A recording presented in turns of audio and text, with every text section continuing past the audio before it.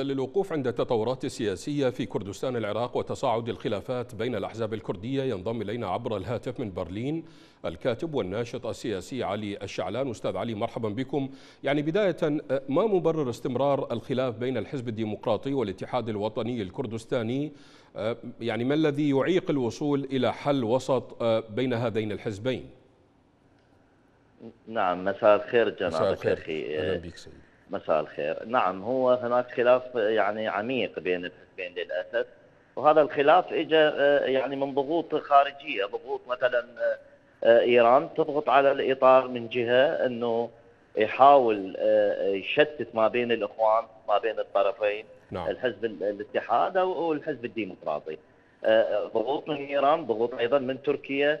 للأسف الولاءات الخارجية هي من من, من أدت بهذا الحال في كردستان العراق، كردستان العراق متطور يعني الأخوة حاولوا يطورون نفسهم من منذ 2000 منذ 1991 نعم. بدأوا يطورون بعد الحماية الأمريكية لهم بدأوا يطورون نفسهم يبنون مناطقهم. لكن للأسف مرة أخرى التدخلات الخارجية والولاءات الخارجية هي ما شتتت الوضع في كردستان وهي ما خلت الأخوة يصبحون أعداء. نعم. يعني عن موضوع التدخلات الخارجية يعني ماذا ستستفيد إيران من هذا الخلاف؟ يعني وخاصة أن إيران تتهم بأنها صاحبة المصلحة في هذا الخلاف. ما هو مصلحة إيران في الخلاف بين الحزبين الكرديين؟ مصلحة إيران أنه إيران تعرف جنابك. إيران عندها يوجد من من الأكراد الإيرانيين موجودون أيضا في جبال سنجار وموجودين أيضا في هولير في جبال الأربي. نعم. هناك هناك إيران طبعا إيران يعني من مصلحتها إنه الاستقرار ما يتم في العراق كله مو أيضا مو بس فقط في كردستان. هي يعني لاحظ حضرتك يعني هذه المخدرات اللي تنزلها إيران وتجيبها حل الأسواق. هذه أيضا هي مت... هذه المخدرات هي آفة هذه المخدرات تقتل شبابنا تقتل الأجيال. إيران من مصلحتها العراق غير مستقر بصورة خاصة كردستان العراق من مصلحتها ما تحب تشوف التطور في أربيل هناك تطور كبير في أربيل يعني حكومة السيد البرزاني بالفعل عملت كثير في في أربيل وفي هولير ونشوف إحنا هناك بناء هناك كهرباء هناك مدارس نموذجية هناك أيضا مستشفيات نموذجية. نعم. هذا هذا لا يسعد إيران وإيران هي من للأسف دائما تحب تحب العراق بخانه صغيرة في خانة غير قادر على إدارة شؤونه وللأسف الطبقة الحاكمة الفاسدة مثل ما جنابك تعرف نعم. في بغداد هي يعني ولاءات إلى إيران ولكن أستاذ علي يعني سابقا نعم. لم يكن يصل الصراع لهذه الحدة خاصة أن من المؤشرات التي تشير إلى أن كردستان العراق منطقة قوية مستقرة، لماذا تعمق الخلاف لهذا الحد لهذا الشكل؟ أستاذ علي؟ نعم نعم مع حضرتك. سمعت السؤال؟ لا السؤال ما سمعته يعني يا ريت. سابقا لم يكن يصل هذا الصراع أو هذا هذه المشاكل أو هذا الصراع لهذه الحدة خاصة أن كردستان العراق يتميز بأنها منطقة قوية مستقرة، ما الذي لماذا تعمق الخلاف بين الحزبين الكرديين بهذه الحالة بهذا الشكل؟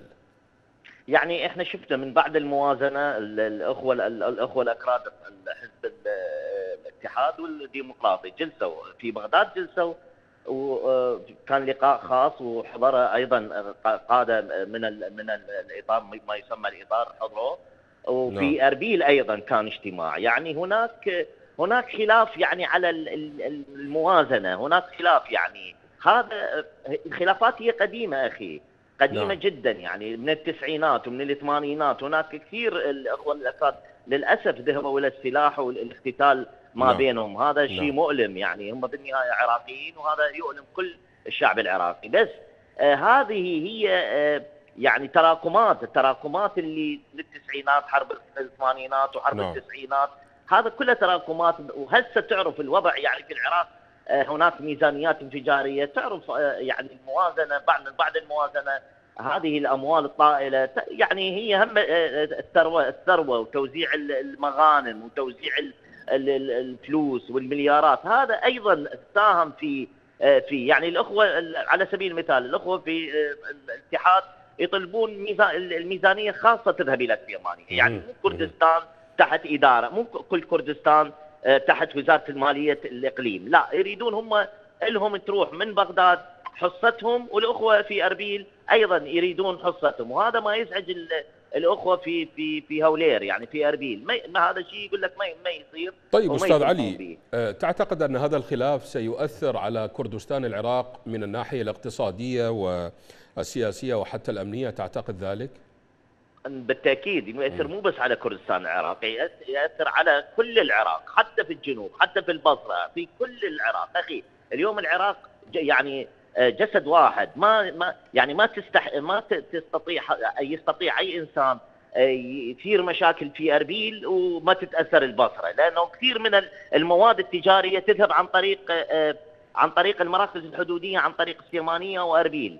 فالعراق كله يتأثر. نعم نعم بإمكان إيران تثير القلاقل في أربيل في كردستان العراق بإمكانها. إحنا شفنا كم مرة قصفه في الطائرات المسيرة لحد قبل شهرين أو ثلاث أشهر ضربوا نعم. مطار سليمانية نعم. وكان الرئيس آه، آه، الأخ من من من من الاتحاد كان طائرته الخاصة يذهب إلى تركيا نعم. ويعني كثير في مشاكل إيران هي من للأسف تثير المشاكل في العراق إيران هي آه، يعني ما يهدى لها بال حتى تخلي العراق دائما تحت التهديد السلاح والحرب الأهلية مشكلة العراق اليوم للأسف هي نعم. إيران يعني هذه هي أستاذ علي هل ترى دعم الإطار التنسيقي للاتحاد الوطني الكردستاني سيكون بلا مقابل؟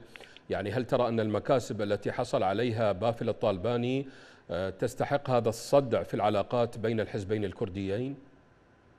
الإطار آه، يمشي بأجندة أخي أستاذي الكريم يمشي بأجندة إيران. إيران هي من تحرك اللعبة. إيران هي من آه، تدفع الإطار لتفرقة الأخوة الأكراد. آه، بالتأكيد يعني الإطار أو الصقور في الإطار المتمثلة بالسيد المالكي، قيس الخزعلي، صالح الفياض، همام حمودي، هاي الأسماء اللي عددناها هذول الصقور الإطار هم من آه، يعني يأخذون التعليمات من من إيران وهم من ينفذون هم من آه، هناك يعني الأخوة في الديمقراطي يتهمون الاتحاد بالخيانة وهذا ترجع إلى أحداث كركوك تتذكر نعم. جنابك أحداث نعم. كركوك نعم. شلون انسحبوا من كركوك وشلون سلموها إلى آه، الميليشيات آه، الحشد ويعني هناك مشاكل كبيرة بالفعل مشاكل كبيرة نتمنى السلامة لأهلنا في آه، كردستان نعم العراق أكيد نعم. ونتمنى نتمنى نعم. أيضا نتمنى أيضا إيران ما تكون إيدها طويلة حتى تفرق بين الإخوان. نعم. سؤال أخير بالنسبة لجنابك الكريم أستاذ علي بدقيقة لو تفضلتم في ذلك.